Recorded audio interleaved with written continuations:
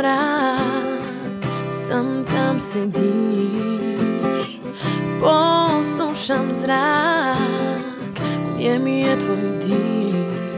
Na prstih se there